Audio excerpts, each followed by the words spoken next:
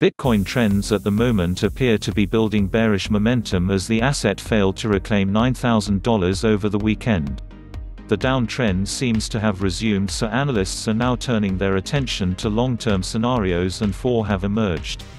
Aside from day traders seeking quick profits most people would get into Bitcoin for the long-term potential.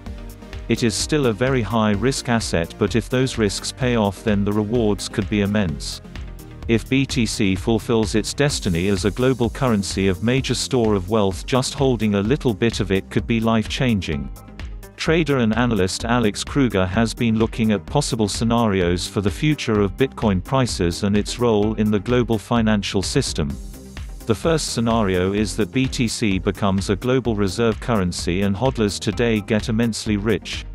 This is pretty unlikely however due to its inherent lack of stability and the fact that there are a few whales that control an unhealthy proportion of the supply.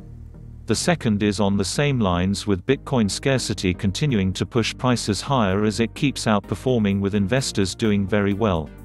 Thirdly is a scenario whereby BTC settles into a wide range as most commodities do after a few major rallies while the fourth scenario is the nightmare one in which Bitcoin dumps back to near zero making the asset worthless.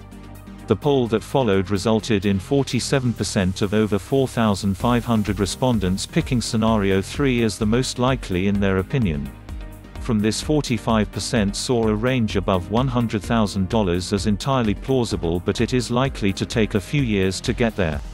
Some of the respondents questioned the threat of quantum computing to Bitcoin but it has been largely accepted that cryptographic algorithms would also evolve to keep up with the technological advances.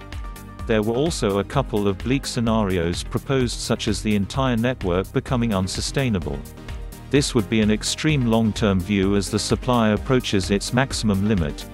The halvings happen every four years so this scenario could play out if pressure is put on power generation. The general consensus of opinion though is bullish for the foreseeable future as Bitcoin continues on the path it began a decade ago.